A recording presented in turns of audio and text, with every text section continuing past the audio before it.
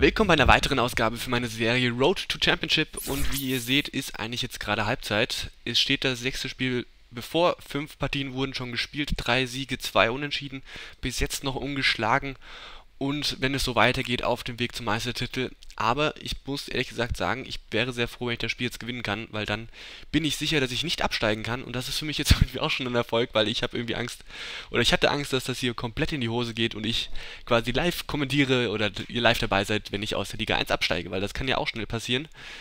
Da es doch recht anspruchsvoll ist, immer noch nebenbei zu kommentieren und dann auf höchstem Niveau zu spielen. Und da hatte ich natürlich dann ein bisschen Bedenken oder auch Besorgnis, dass ich dann, dass das voll in die Hose geht. Scheint momentan nicht der Fall zu sein und wenn ich jetzt noch drei Punkte mitnehme, dann habe ich 14 und dann ist der Nichtabstieg gesichert. Habe ich hier direkt zügig einen Gegner gefunden und was ich auch geil finde, ähm, das hatte ich ja jetzt auch schon immer wieder mal erwähnt, ich habe bis jetzt fünf Gegner gespielt und ich hatte fünf verschiedene Teams und kein einziges, Real, einziges Mal Real Madrid und das ist natürlich auch, finde ich, ähm, spektakulär, aber das habe ich jetzt auch schon, glaube ich, zwei bis dreimal erwähnt. Mal sehen, ob es jetzt endlich der Fall sein wird, dass ähm, dieser Lauf oder diese Serie zu Ende geht und ich gegen Real Madrid spielen werde. Nein, auch ein neu, sechstes, sechster Gegner, sechstes Team. Ich glaube, gegen Frankreich habe ich mich auch noch nicht gespielt. Geil, also wirklich ähm, richtig cool. Und Frankreich ist auf jeden Fall stark. Ui, da habe ich mir immer gedacht, ich kann ja auch direkt zum Gegner spielen. Und das mache ich dann direkt nochmal. Nein, diesmal kommt der Spall an. Spiel hier über Bender und Podolski. Hat halt Podolski hier sich schön durchsetzen können. Und ich komme jetzt hier wahrscheinlich direkt zum Abschluss. Ziemlich lange Ecke, aber man hat es gesehen, wie lange Podolski braucht, um diesen Vorsprung, vor, ähm, äh, diesen Vorsprung, diesen Abschluss vorzubereiten. Und deswegen hat es dann nicht geklappt. Daraus hätte ich auf jeden Fall mehr machen müssen. Aber ist nicht so schlimm, weil in den ersten 5 Minuten schieße ich eh nicht so gerne Tore. Weil dann der Gegner rausgehen kann, ohne dass es ähm, gewertet wird. Hui, habe ich natürlich jetzt aus Versehen durchgelassen, weil ich noch die R1-Taste gedrückt habe zum Verteidigen. Und ja, was ich noch sagen wollte, Frankreich ist ein sehr, sehr starkes Team. Also hat sehr gute Spieler. Ich glaube, ähm, ein paar Probleme in der Innenverteidigung. Äh, da fehlt, glaube ich, ein oder zwei gute Männer. Also die sind nicht überragend in der Innenverteidigung. Aber der Sturm ist natürlich mit Nasri, Benzema und Ribéry sehr, sehr gut besetzt. Also da ist dann auf jeden Fall was möglich für den Gegner. Hier, Bodowski setzt sich ab. Probiert dann auch lang zu spielen. Der kommt vielleicht sogar auch an, aber er kann den Ball rechtzeitig klären. Und dann spielt er mir hier in die Füße. Gomez kann sich jetzt hier durchsetzen, links in die lange Ecke. Und da kann der Torhüter halten. Es hat kurz geruckelt. Das hat natürlich jetzt gerade sehr gestört. Sehr ärgerlich. Aber ich habe dann auch einfach da den Abschluss nicht richtig vorbereitet. Hätte ich vielleicht mit dem linken machen müssen.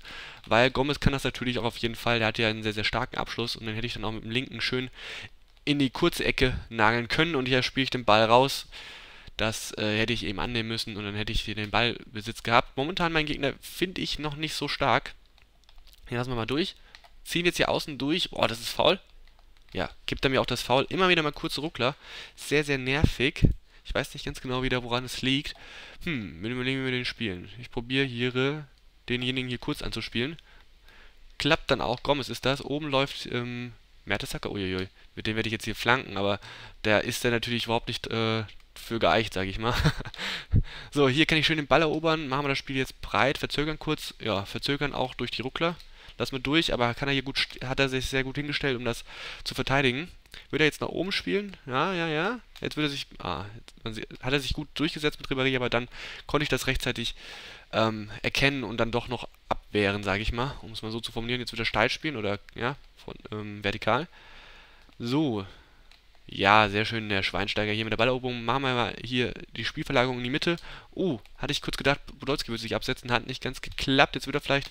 Ja, was wird er machen? Jetzt spielt er vielleicht wieder vertikal. Macht er Richtungsänderung? Nee, ich stack hier schön unten ab. Hat jetzt sehr lange den Ball geführt, auch ein bisschen zu lange. Und, boah, den Pass hatte ich eigentlich doch schon so gut wie abgefangen. Hier setzt er sich schön mit Benzema durch, aber da habe ich natürlich meine beiden Verteidiger. Ich glaube, der Gegner spielt ein 4-2-3-1, dann hat er immer nur einen Sturm eine Sturmspitze und die beiden Verteidiger konnten sich eben gerade beide auf Benzema konzentrieren. Und immer wenn ich in den Angriff komme, ruck, ruckelt es kurz. Sehr, sehr nervig. Hier schön Doppelpässe spielen. Boah, krass, wie er da einsteigt. Ja, das gibt dann jetzt auch das Foul. Das könnte eigentlich auch mal gelb geben, so wie er da eingestiegen ist. Bin ich überlegen, wie ich den jetzt bringe. Hm. Den bringe ich einfach lang rein. Ich bin überlegen, ob ich ihn mit Bender bringe oder mit jemand anderem. Ich bringe den mit Schweinsteiger. Oder ich könnte, ne, ich mache mit Özil, weil der ist auch eh nicht so kopfballstark. Bringe ich einfach mal Force-Tor lang reingezogen. Könnte gefährlich kommen. Hier ist jetzt Lahm bei, ja, wird immer länger, länger, länger und dann hat er, kommt er gar nicht in den Ballbesitz. Also total verkackt gerade äh, die Ballannahme. Und da muss er eigentlich der Lahm den Ball abnehmen. Jetzt kommt der Ball noch irgendwie doch durch und jetzt habe ich hier mit Hummels, ach, ich bin gerade, ja, oder eben war es einfach Pech, wie Lahm da den Ball vertändelt hat und danach hatte eben hier Hummels eigentlich mal den Ball äh, annehmen müssen. Jetzt wird er hier die Flanke bringen. Ribéry ist im 16er, kann sich gegen Mertesacker nicht durchsetzen, ist klar irgendwie. Ribéry, uh, hier gefährlicher gespielter Ball. Richtungsänderung. Ich probiere. Ach, Mann, ich wollte noch kurz verzögern, damit ich Podolski kurz anspielen kann, weil ich glaube, der ist eigentlich durchgestartet und der wäre dann im Abseits gewesen. So, hier schön von Götze rausgespielt. Jetzt habe ich ein bisschen Raum, spiele hier. Oh, Schweinsteiger äh, Podolski kurz an. Ach, ich bin. Es waren schon so viele Situationen, wo gerade auf jeden Fall mehr drin war. Hier kann ich auch wieder den Ball nicht abnehmen. Jetzt hat er sehr viel Raum mit Nasri auf den Außen wird er flanken und da hatte ich einen Stellungsfehler und den kann er hier Volley nehmen, aber sehr ungefährlich aufs Tor, hätte er vielleicht sogar annehmen können. Und ich muss mal einfach jetzt mal nach vorne vernünftig spielen, weil eigentlich hätte ich jetzt hier schon das Einzel schießen können oder müssen, weil eigentlich waren immer ganz gute Situationen. Jetzt muss man außen durch und dann, hm, hm, ist der Ball hier weg, vertändelt ich wieder. Schade, ich hätte kurz gehofft, dass er dann vielleicht äh, damit ins Ausläuft würde er, ja, spielt er Benzema an, wird sich jetzt vielleicht probieren, außen durchzusetzen und dann immer wieder diese Verzögerung, sehr, sehr nervig, aber der Ball ist jetzt hier wieder bei mir. Sehr schön. Gomez kriegt sich hier oben vielleicht, ach Gott, ey. Foul? Nee, er kretscht rein und steht dann einfach im Ball und liegt im Weg. Das war natürlich sehr, sehr günstig, wie das gelaufen ist. Und den muss ich jetzt hier zurückspielen auf Teuter. Raus damit! Oh! Oh, das ist jetzt ein Meter, Mann! Was für eine dumme Situation. Hm, das habe ich schlecht gemacht. Ich hätte mit Hummels viel, viel schneller zurück zum Torhüter spielen müssen. Und wo schießt er den hin? Jetzt wechselt er erstmal den Schützen. Ich gehe davon aus, dass er links schießen wird. Links. Und ich drücke links und der Torhüter springt nicht. Das ist, das ist doch zum Kotzen, ey. Sorry, aber ich kündige es ja nicht aus Scheiß an, sondern ich drücke natürlich auch in die Richtung. So, also, also das Spiel ist bis jetzt totaler Scheiß. Also, um es mal so auszudrücken. Äh, immer wieder diese Ruckler. Ich hätte schon lange das 1-0 schießen müssen. Ich habe vorne dann die Konsequenzen nicht, äh, äh, nicht Konsequenzen, genau, nicht konsequent ausgespielt. Und dann äh, kommt hier so ein Mist dabei raus. Er fault immer wieder, was hier wieder nicht gepfiffen wird. Nicht mal ein Freistoß oder nicht mal ein Vorteilpfiff. Ganz, ganz komisch. Und dieser Elfmeter war absolut zu vermeiden. Also sehr strange. Gomez jetzt hier links, äh, rechts den Doppelpass mit Wololski spiele ich jetzt steil. Kann sich jetzt hier auch schon durchsetzen, aber der liegt jetzt hier gerade auf dem rechten, der Ball. Ziehen wir in die Mitte und dann. Ach. Man hat es gesehen, ich hatte den Ball komplett auf dem rechten und Podolski hat einfach keinen rechten Fuß. Spielen wir hier oben auf groß. Spielen wir jetzt hier. Ah, wollte ich jetzt eigentlich durchlegen auf Podolski. Jetzt wird er vielleicht steil spielen auf äh, Benzema. Ich hole den. Ah, jetzt kommt der. Jetzt, was macht er? Jetzt zieht er außen vorbei. Kann der Neuer sehr gut halten. Meine Güte, was ich für einen Mist bis jetzt spiele. Podolski kann sich hier absetzen, sehr, sehr schön, kann er hier durchstarten. Und dann ziehen wir jetzt hier in die Mitte und legen in die lange Ecke. Und auch hier dauert es wieder zu lange, bis Podolski dann auch wirklich den Abschluss sucht. So ein, so ein dummes Spiel bis jetzt. Also wirklich. Der, äh, alles. Ich hätte, ich hätte schon das Tor schießen müssen und der Elfmeter, den, der war zu vermeiden. Das, ist, das kotzt mich gerade an. Spielen wir kurz auf Podolski. Doppelpass. Ist die erste Halbzeit ist vorbei. Spielen wir jetzt steil auf Podolski? Ja, ja, ja, ja, ja, ja. Komm, kann sich durchsetzen. Zieht jetzt in die Mitte. Nehmen wir in die lange Ecke. Oh, und dann kriegt er noch wieder noch irgendwie den Fuß dazwischen. Ich wollte eigentlich schon zum Torschrei ansetzen. Und gerade werden meine Hände ziemlich rutschig. Den lassen wir jetzt einfach mal hier. Oh, den wollte ich kurz Podolski spielen. Kam nicht durch. Ich muss mal kurz meine Hände abtrocknen. Es wird jetzt aber wahrscheinlich gleich zur Halbzeit gepfiffen. Kann ich hier schnell spielen und den nehme ich direkt. Das war jetzt eigentlich falsch gemacht. Und ja, grätscht er mir wieder den Ball ab. Wenn, ich, wenn er Pech hat, gibt das Foul. Hier kann ich hoffentlich vielleicht einen Angriff machen oder jetzt pfeift doch einfach ab. Jetzt hat er noch einen Angriff. Sehr ärgerlich. Das macht er gut. Setzt er sich jetzt außen durch, probiert Benzema zu decken. Und dann gibt es hier nochmal Ecke. Der hätte schon lange abpfeifen können, ey. Hm. Oh, der kommt auf Mertes. Zack, er kann sich durchsetzen und das ist das 2 zu 0. Und das wird wahrscheinlich meine erste Niederlage. Mir fast das F-Wort über die Lippen gerutscht. Wie schlecht. Und jetzt wirft, spielt er hier so einen schlechten. Ba also, was ist denn hier los? Sind die Leute auf Drogen? Noch einen Angriff habe ich auch. Das ist ja ganz komisch, wie lange der Angriff läuft. Da haut er wieder meinen Spieler um. Und ja, kann er vielleicht noch an den Ball kommen? Nein, und jetzt pfeift er ab. Jetzt gibt es nochmal gelbe Karte vor der Halbzeit. Und Ich bin gerade irgendwie sehr perplex. Bin wirklich perplex. Ähm, ich weiß nicht, wie es hier auf einmal 2-0 stehen kann. Bin gerade irgendwie total durch den Wind. Wie ich das, wie ich hier in die Halbzeit mit 2-0 gehen kann, ist es eigentlich ähm, nicht verständlich. Ich habe einen Schuss, aber das liegt auch nur daran, dass Podolski gerade immer für seine Torabschlüsse ungefähr drei Sekunden Vorbereitungszeit braucht. Und ich muss jetzt mal auf Offensiv stellen, weil ansonsten wird das hier nichts mehr. Boah. Ich muss jetzt wirklich schnell den Anschlusstreffer schießen. Spielen wir mal steil auf Podolski. Kann sogar kommen, aber hier, ja. das ist eigentlich rot, weil er überhaupt nicht am Ball ist. Ähm, probiere ich jetzt mit Özil aufs Tor zu ziehen. Könnte kommen, könnte kommen, könnte kommen, könnte kommen. Boah, was für ein Ding. Richtig schönes Tor. Richtig schönes Freischusstor. Schön in die kurze Ecke gezogen, auf die, auf die, oh, um die Mauer herum und dann perfekt. Wunderschöner Freischusstreffer. Also den schaue ich mir natürlich wirklich gerne an. Ah, das ist jetzt vielleicht die Wende in dem Spiel. So, so ein Tor musst du natürlich machen, da soll machen wir mal gut. Da wäre vielleicht noch die Perspektive gar nicht so schlecht gewesen, aber der Gegner hat die Replays immer weggedrückt und dann möchte ich ihm hier das auch nicht aufzwingen weil er jetzt anscheinend ein schwerer Sportsmann zu sein scheint. Och, schade. Er fällt auf dieses Durchlassen gar nicht rein, das macht er gut, er steht da immer genau richtig, um das dann zu verteidigen. Bender jetzt hier gegen Ribéry im Laufduell und da Boah, das war aber auch wieder grenzwertiger Einsatz. Die könnte kommen, raus damit. Habe ich jetzt einfach probiert, mit Kreis zu klären, den Ball. Hat auch irgendwie geklappt. Da war natürlich Benzema ähm, schon quasi bereit, diese Ecke oder nee, diese Flanke zu verwandeln. Apropos Ecke verwandeln, das wäre jetzt hier fast der Fall gewesen. Jetzt ist hier gerade ein Anruf. Hatte ich bis jetzt auch noch nie. Kann ich jetzt leider nicht rangehen. Schön. Ähm, ich lasse es einfach klingeln. Ist jetzt gerade nicht äh, zu ändern, tut mir leid. Ich hätte natürlich jetzt kurz auch mal dran gehen können, aber das wäre jetzt zu viel Multitasking gewesen. Ich hoffe, diese Person, die gerade anruft, hört gleich auf. Denn ansonsten.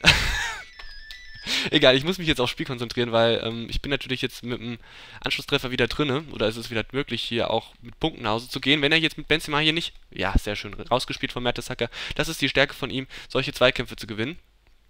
Und dann spielen wir hier kurz den Podolski an, spielen wir Doppelpass, aber der, äh, der erste Pass kommt bei Gomez nicht an ähm, war einfach hier zu viel los und dann, keine Ahnung, was er jetzt hier mit Malouda machen möchte und zieht dann einfach so unkreativ an und dann geht das natürlich in die Hose, aber leider nicht der Ballbesitz für mich.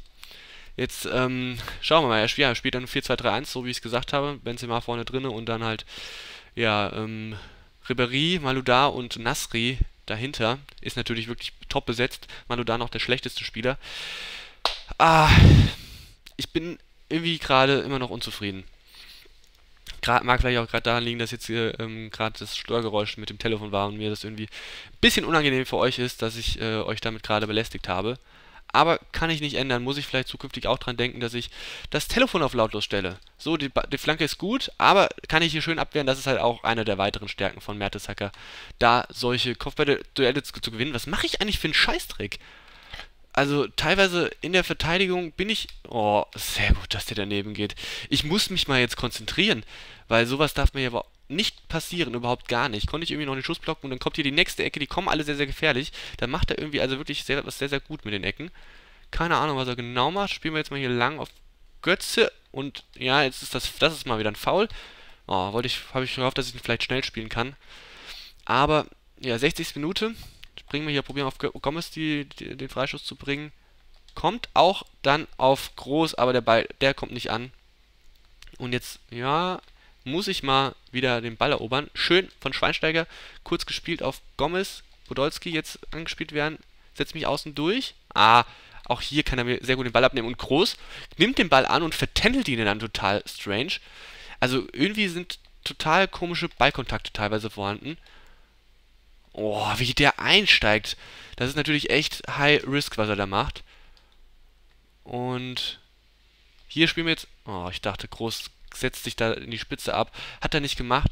Der Pass ist aber auch eh nicht gekommen, den ich dann gespielt habe. Von daher ist es nicht schlimm. Und hier wird er jetzt, war er eigentlich dabei, ins Auszulaufen. Spielen wir kurz auf Podolski. Spielen wir jetzt. Boah, da setzt er sich da fast durch. Und hier fängt es wieder an zu ruckeln und es nervt einfach. Was ist das denn für ein Scheiß, ey? Ich, das, das, das, das begleitet mich ja durch die Gameplays immer wieder, dass es immer wieder mal kurz ruckelt und mich das total aufregt. Also das ist wirklich so eine Sache, wie man mich echt außen ziehen wir jetzt vorbei, probieren jetzt irgendwie zu flanken und Podolski mit dem Ding, der Ausgleich, 70. Minute, habe ich einfach am Tor da vorbeigelegt und dann kann Podolski hier aus drei Metern das, das Ausgleichstor schießen, richtig schön. Und dann ist hier wieder alles drinne. Wahnsinn. Wer hätte das gedacht, nach so einer dummen ersten Halbzeit und auch, ja, jetzt lege ich hier fast wieder auf. Remy hatte eingewechselt, der ist sehr, sehr schnell, machen wir auch mal einen Spielerwechsel weil ich denke, groß werde ich jetzt wieder austauschen müssen. Ich muss irgendwie ein bisschen, das Kabel vom Headset ist ein bisschen im Weg. So, groß wird rausgewechselt wie immer und dann kommt Reus rein. Dann bringen wir hm, hm, hm, Götze nach vorne und Gomez geht raus für Müller. Ja. Und dann schauen wir mal, was dann noch hier möglich ist. Jetzt ist ja wieder alles drin, ausgeglichener Spiel. Richtig schön. Und es fängt wieder an zu ruckeln. Hier grätscht er sehr riskant. Legen wir mal hier auf groß. Der war eigentlich kurz gespielt. War nicht mit 3 gespielt. Der ist jetzt mit 3 gespielt. Der ist auch mit 3 gespielt. Und machen wir die Flanke wieder. Und Podolski. Yes! Das ist der Führungstreffer. Der Wahnsinn. Das Spiel gedreht. 73. Minute. Einfach die Flanken jetzt hier wunderschön auf Podolski gespielt. Ich konnte nämlich nicht den Abschluss mit Gomez vorbereiten, weil der Pass irgendwie zu schlecht kam. Und dann habe ich hier innerhalb von ein paar Minuten das Spiel drehen können. Irgendwie sage ich mal, nicht so wirklich verdient. Aber ich habe eigentlich ja direkt am Anfang gemeint, dass ich denke, dass der Gegner gar nicht so stark spielt. Setzen wir uns mal mit einem Heal-to-Heal -Heal durch. Ziehen jetzt hier außen weiter durch. Und ziehen zurück. Doch, weiter nach außen, dann kann er mir den Ball rausspielen. Äh, ich führe. Ich habe keine Ahnung, wie ich das gemacht habe. Jetzt bitte hier probieren, in die Gasse zu spielen. Mit Remy. Zieh da außen durch. Probiere irgendwie den, äh, den Mann zu bekommen. Jetzt kann er hier durchziehen und dann bricht er ab, macht er sehr schön, aber das ist ja abseits gewesen, der, der Ball in die Spitze. Der Ball ist aber immer noch heiß, er ist direkt noch vom Tor. Schade, dass der Schiedsrichter da das Abseits nicht gepfiffen hat. Nämlich da wäre es mal was gewesen. So, spielen wir hier kurz. Den spielen wir hier lang auf Müller, der kann vielleicht kommen. Oh, fast mit der Balleroberung. Aber dann hier mit der Balleroberung. Sehr, sehr stark von Müller hier gemacht. Jetzt kann er sehr viel Raum ausnutzen. Ja, machen wir mal eine Schusstäuschung nach außen. Oh, da spielt er mir irgendwie den Ball raus und Müller beschwert sich dann auch. Hm, hm, hm. Hier, Öse mit der starken Balleroberung. Machen wir das Spiel breit auf lahm oder machen es wieder langsam. Jetzt müssen wir aufpassen, dass der Ball hier nicht weg ist. Den spielt er sehr gut raus. Als wir hier probieren, auf, äh, auf Remis steil zu spielen. Ich täusche an, dass ich Teuter raushole. Und dann probiert er hier außen durchzulegen und legt zurück. Dann muss ich den hier einfach rausklären. Sauber! Richtig stark von Neuer. Stark, stark, stark. Wenn der nämlich da irgendwie auf den zweiten Pfosten kommt, kann es sein, dass er von dort dann einfach ins leere Tor einschießen kann, wenn ich den Ball da nicht rausbekomme. Und das hat natürlich Neuer richtig stark gemacht. Aber die nächste gefährliche Ecke, das ist echt der Wahnsinn, was der für Ecken macht. Podolski jetzt hier lange im Spiel. Ich probiere den einfach zu lassen. Genau, das habe ich ja, dazu habe ich ein Video, was ich hier gerade gemacht habe. Sehr, sehr schön, kann sich außen durchsetzen. Und dann ziehen wir den in eine kurze Ecke. Oh, den wollte, sollte ich, wollte ich eigentlich mit der linken Fuß in die kurze Ecke vollspann ziehen. Hat aber überhaupt nicht geklappt und es lag daran, dass der Gegenspieler dran war. Hier habe ich eigentlich den Spieler genau schön zugedeckt, aber ich konnte den Pass nicht abfangen. Und jetzt muss ich hier mit Lahm einfach den Ball... Oh mein Gott, oh mein Gott, oh mein Gott, weg damit. Sehr schön. Der Neuer ist einfach eine Bank. Das ist natürlich wirklich ein immenser Vorteil, so einen Keeper zu haben. Oh, wollte ich hier eigentlich, hatte ich nicht gedacht, dass ich mich durchsetzen kann mit Götze war das jetzt vorne. Und ich muss jetzt hier einfach nochmal kurz den Ball erobern, vernünftig, und dann einen vernünftigen, probieren, einen vernünftigen Angriff auszuspielen. Oh, den macht er hier schön, weil wohin hat er auch jemand eingewechselt. So, Lahm jetzt hier im engsten, auf engstem Raum ist der Ball eigentlich schon. Oh, ist weg, sauber. Abstoß. Den muss ich jetzt einfach weit rausbringen und dann irgendwie probieren, noch ein bisschen den Ball zu halten, sodass ähm, dann einfach der Schiedsrichter einfach sagt: Okay, das reicht mir jetzt. Ich pfeife das Spiel hier ab. Äh, weil damit könnte ich natürlich jetzt unglaublich gut leben. Also, nein, nein, nein, jetzt gibt es nochmal einen Angriff. Jetzt muss ich mich konzentrieren. Das ist wirklich der letzte Angriff wahrscheinlich. Boah, Stellungsfehler von Mertesack. Er geht dazu der drauf. Die Flanke ist nicht gut. Kann ich hier rausspielen. Sehr schön. Spielt er mir fast den Ball raus. Oben läuft Podolski. Komm. Boah.